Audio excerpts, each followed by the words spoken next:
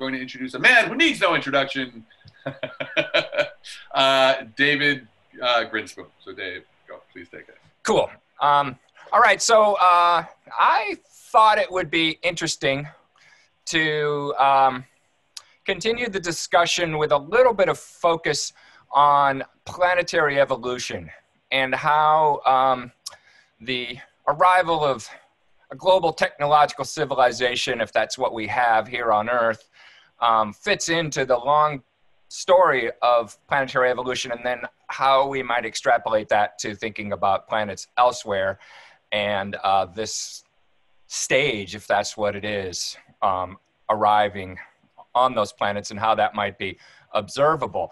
Uh, by the way, we're, uh, I thought I'd mention a somber anniversary. Tomorrow is the 75th anniversary of um, the first um, explosion of a nuclear warhead um, in, war, in uh, warfare uh, at Hiroshima. And um, I think that's uh, relevant um, for this conference in the sense that um, certainly the early founders of SETI were very aware of um, the danger of nuclear war as something that they saw as potentially limiting lifetimes, longevity, not just here, but elsewhere. Um, and uh, in a certain sense, if we're talking about finding long term civilizations, the fact that we're still armed to the teeth with weapons that are much more powerful than this one, um, in a certain sense, indicates that what we seek is not what we are, but perhaps what we aspire to be as far as a uh, stable long term civilization. Um, certainly, um, these founders, these brilliant white dudes who um, started our field in the um, 60s and 1970s uh, were very aware of the um, threat of nuclear war.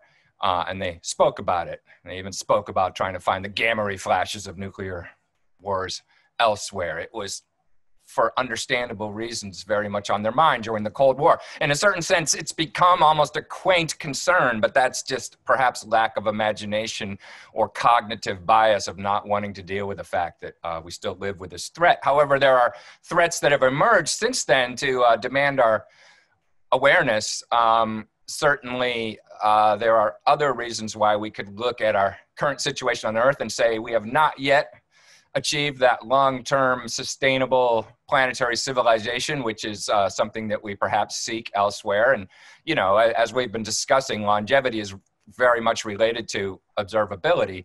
So um, self-imposed threats uh, could be one thing that that limits that. So again this uh, you could look at this and argue that we are what we seek is not what we are but what we aspire to be this growing realization that we have become a planet changing force and really a geological force um, has been given the name of uh, the, the Anthropocene epoch. And I, I, won't belabor this. You've seen things like this, but certainly if you look at, if you compile all kinds of data on human influence on the earth, there's a functional similarity here where everything kind of goes along and then around the 1950s starts shooting up in a period of time that's often referred to as the Great Acceleration. Um, so, you know, just in terms of the quantitative argument, there's no doubt that humans have become a force, a, a geological force, um, greater uh, in power in many ways than the the long-standing geological forces, just in terms of our uh, how much stuff we move around and our effect on the, the, carbon cycle and the sulfur cycle and the nitrogen cycle and the hydrological cycle, all this stuff. Um, you can pretty much make a good argument for that. When did the Anthropocene start? It doesn't really matter on the geological cosmic timescales we're talking about, but I have uh, made my own suggestion, which is that um, it starts with the golden spike of tranquility base. Um, but that's neither here nor there. Uh, I want to talk about um, the way this concept dovetails with some of what we've been talking about in this meeting. Astrobiology is interesting for the, uh, or, or astrobiology uh, should have an interest in the Anthropocene for many reasons, which I've listed here, but I draw your attention to the bottom bullet here that uh, this arguably marks a branching point in planetary history, which may have analogs elsewhere in the galaxy and may determine what we observe on some exoplanets and how we interpret what we observe and perhaps affect our observational strategies. Uh, you could also say that the Anthropocene is perhaps the time when Earth first develops its own observable technosignatures. Now, I've also proposed the idea that this may be the start of a new eon, which is a rather audacious thing to propose. If you look in the upper right of this chart, um, the Anthropocene is usually proposed as a new epoch that comes after uh, the Holocene, which we're supposedly in, which has been lasting about 12,000 years now. Um, and that, you know, in, in many ways, that's a much more defensible claim that we may have um, entered a new eon. But why would I say, why would I propose such a uh, ridiculous thing? Well, it might be fruitful for SETI to think of um, the phenomenon of intelligence as not just the appearance of a civilization on, on a planet, but a transition in planetary evolution. Um, and I'm arguing that this could be called the Sapiezoic eon, in which cognitive processes become deeply integrated into planetary functioning. Now, can intelligence and technology become a long term stable part of a planetary system? Um, this leads to a uh, concept of uh, planetary intelligence, which um, I've played around with a bit, and which recently uh, Adam Frank and Sarah Walker and I have, along with some other colleagues, have been discussing as a concept that might be worth uh, developing in, in different ways. Thinking of this as not merely something that happens on a planet, but something that happens to a planet. In other words, maybe the Earth has sort of entered a new state, and this could be like uh, an analogy to Gaia. Um, where biology, uh, biosphere is something that a planet becomes, not just something that happens on a planet. Maybe we could say something similar about a certain stage of um, intelligence or technological intelligence. So looking again at this um, for a second at this geological um, time scale, again, the upper right is where the Anthropocene is proposed. But I, I want to point something out that in terms of astrobiology, it's the eons that are most really of interest in the sense that all these epochs and periods are just fluctuations on Earth that shouldn't have any counterpart elsewhere. They're uh, climate changes and random extinctions and sort of the fluctuations of a complex evolving planet. But the eons on the left, of which there have supposedly only been four, these are major transitions in the nature of the planet, which arguably could have counterparts on other planets. Not the exact same sequence at the exact same time but but you can look at these functionally. Each is a different is a phase of a different relationship between life and the planet. And those transitions i think may have counterparts if you describe them in a certain way. Um, the Hadean, of course, is uh, probably common to rocky planets, a time when you, uh, life would not be likely because the surface was so unstable due to late effects of accretion. Um, the Archean is when life first appeared roughly 4 billion years ago. We don't know the specific time scale. Um, and arguably, the Proterozoic is when life sort of took over the planet chemically um, two and a half billion years ago with the rise of oxygen. And uh, if life was not firmly embedded in geochemical cycles to turn them into biogeochemical cycles before that time, it, by the Proterozoic, it certainly was. Life was a uh, integral part of the functioning of the planetary system. The Phanerozoic, of course, is when life got uh, complex and multicellular. And then I, I'm arguing that in terms of this kind of functional transition that a planet could undergo a sapiezoic if cognitive life could become a stable long-term part of the functioning of the planet that it's as different in a way as um, as the origin of life or some of these other transitions. So um, let me say a little bit more about that um, you know the real question is could intelligence like life become a planetary property, what would it take for an uh, intelligent civilization to really be the beginning of a Sapiezoic eon? Well, it requires cognitive processes to become a long term stable part of a planet. And that certainly implies a very different behavioral mode than is currently being exhibited by intelligent life. Uh, or from a systems perspective, the early stages of this transition, I would argue, are always going to be highly unstable because global influence precedes global control and thus is characterized by positive feedbacks, uh, represented here by runaway climate change, um, which hopefully the negative feedback of awareness of those effects will ultimately um, lead to a shape, a curve that's shaped different from the current Keeling curve.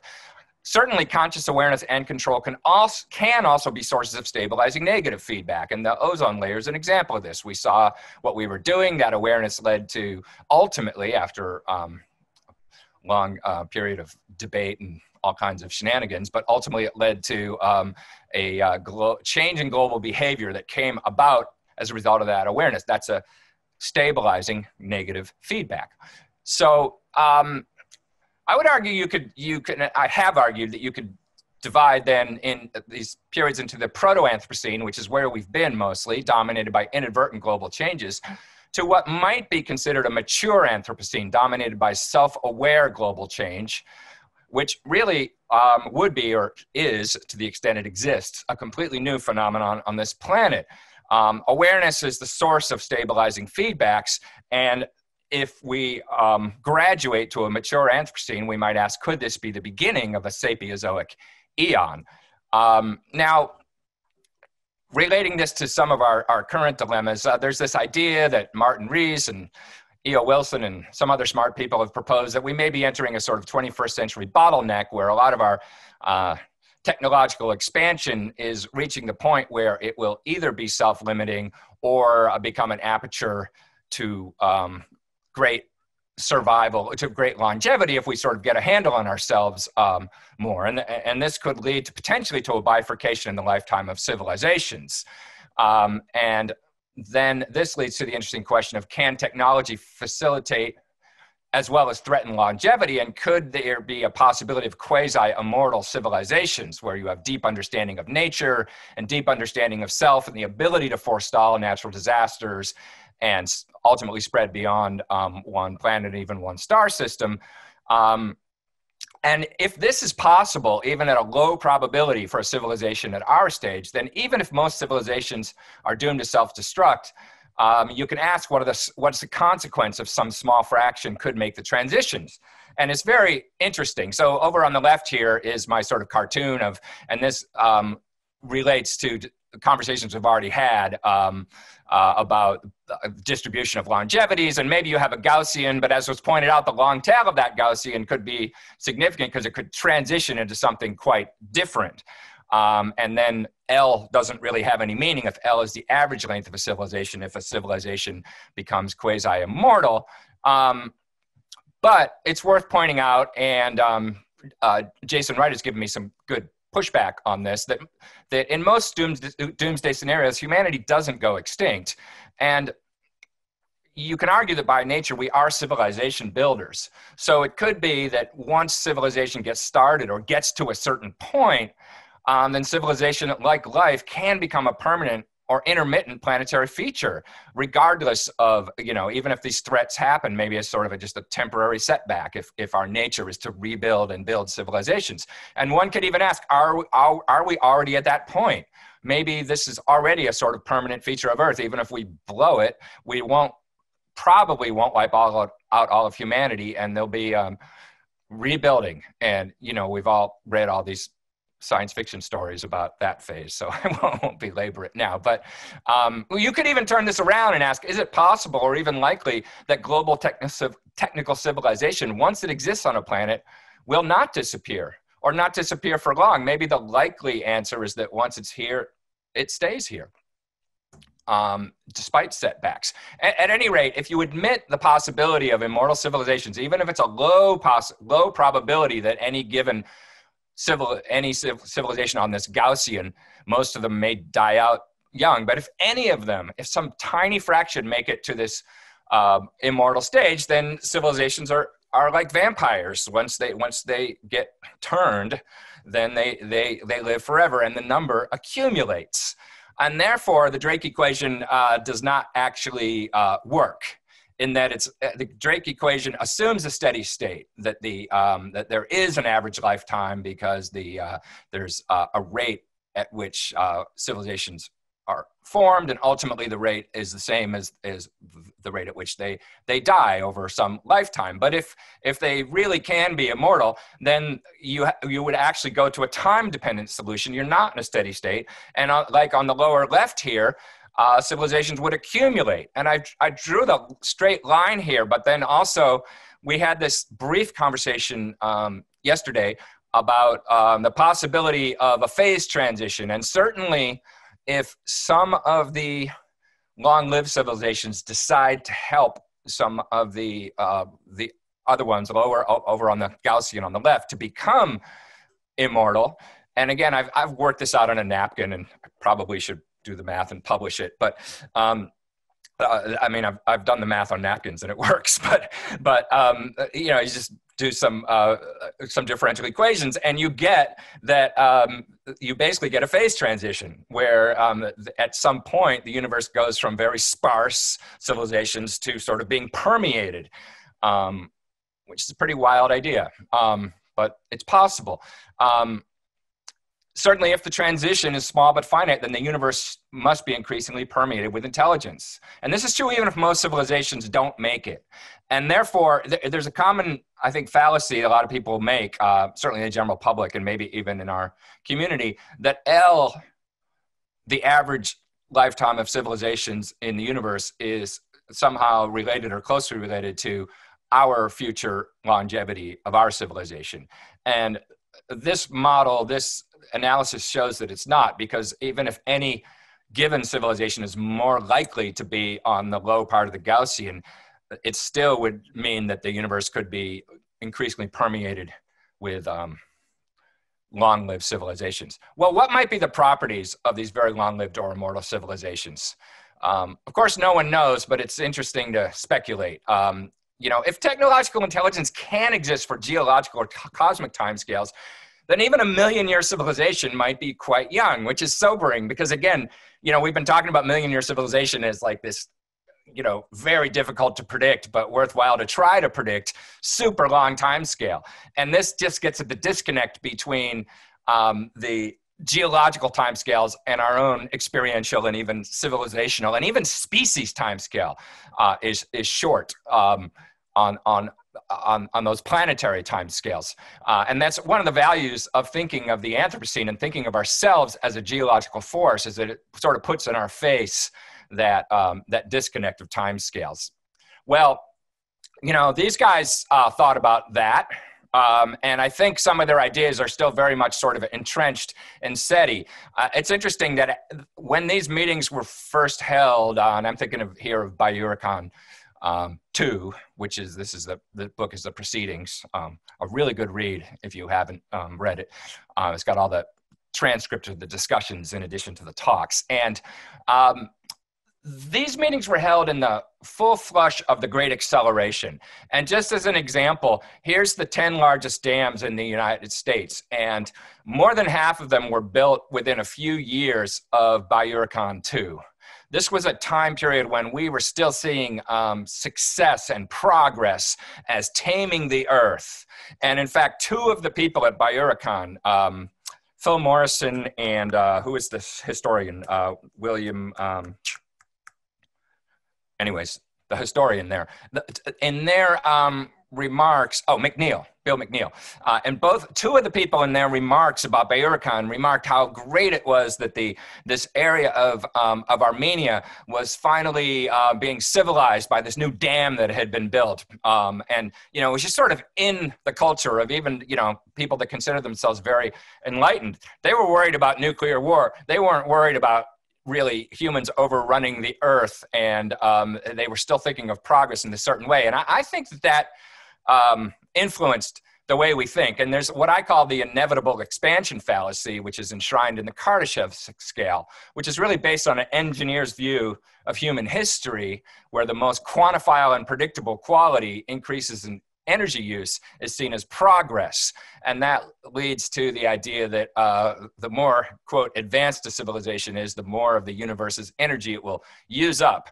Um, or I paraphrase this as intelligent civilizations do not act intelligently because um, one can easily um, show not just on our planet but on longer time scales on on on longer on wider spatial scales that this is not a recipe for longevity um, and an alternative, and this uh, um, Jacob Haqq-Misra and Seth Baum wrote a paper about this, and several people have discussed it. That um, that uh, certainly applying what we're learning on Earth now, that longevity will require recognizing limits and integrating gracefully into the, into nature rather than just subduing it. Um, and um, the nature of long-lived societies may be to develop an ethic of sustainability, and perhaps it's not in their nature to um, uh, to expand relentlessly. And this may even help to explain the Fermi paradox because maybe uh, they're not all out there um, just using up as much energy and radiating uh, energy wastefully the way we um, think they should be. um, and, and this also, you know, again, thinking about ourselves, you, you can, we can ask, is there an intelligent civilization on Earth today? We often talk about other advanced civilizations, assuming that we are one, or we, we talk about how maybe humans have formed the first advanced civilization in the galaxy. We inherently use language to describe ourselves as an advanced civilization. Um, and in Drake, in the Drake equation, we sort of talk about what is the longevity of our type of civilization, and yet um, it's arguable that, that intelligence has not arrived on Earth in the way that may be meaningful uh, in the universe. What we have now might be considered proto intelligence. Um, it makes sense to not doom yourselves. It's pragmatic in terms of detectability. Um, it's not enough to be able to build a radio telescope. You need to be able to broadcast or listen for centuries. Um, so maybe proto intelligence is to technological civilization as life is to a biosphere, a prerequisite that may or may not become a robust, robust, sustainable global entity. So look at this way, we can see, we can think of a series of gateways where young rocky planets um, maybe form biospheres, maybe Venus and Earth all formed early life, but maybe um, they may or may not pass a gateway where it, life becomes globally entrenched um, and basically you have a Gaia born. And then there may be another gateway where sometimes life becomes complex and intelligent, and maybe another gateway where that becomes a long lived, sustainable part of the planet. So, looked at this way, there could be three types of exoplanets dead, living, and sapient. Now, what would some of the qualities be that would, might be observable um, of uh, other civilizations or planetary civilizations, stable, long lived planetary civilizations. Of course, nobody knows. And I'm criticizing um, the value of expansion. And now I'm going to uh, propose another value. And it ought to be done with all humility that, uh, you know, we can't really second guess the aliens. But I think there's an argument to be made that they may value stability. And furthermore, I think there's an argument to be made that life will always evolve best on planets that are inherently unstable in the sense that on the surface of the earth we live in the transition between two huge heat engines the internal heat engine um, of plate tectonics and the external heat engine of the solar driven weather. And it's the combination of those two kinds of activity that uh, makes Earth so fertile, but also um, makes it very prone to natural disasters. And I think that could be something that is always true. So, what would a civilization that values stability uh, look like? Well, some possible signs of managed planets uh, anomalous or artificially stable climate states, dampened Milankovitch cycles, and this second one I think is really interesting the preservation of climate states from earlier stages of stellar evolution. The habitable zone moves out, but maybe um, somebody, uh, civilization already living on a planet, wants to keep their climate the way it is. So, sort of suspiciously cool planets that look like they've been left behind by stellar evolution. Or, as has been mentioned, multiple identical climates in a system due to terraforming would be an interesting thing um, to notice. Um, certainly, I'm going to wrap up now. In order for our civilization to survive, it's clear that we need to become a different kind of entity on this planet. We need to learn to live comfortably over the long haul with technology that, that can change the world. And seen in this way, a central question of SETI may be the same as the central challenge facing our own civilization. Namely, is it possible for a global technical civilization to form a long term healthy relationship with a planet? Um, and with this inspirational quote from Rumi about how we have to go through a thousand different worlds yet, or a hundred different worlds yet. There are a thousand forms of mind. I will stop. Thank you very much.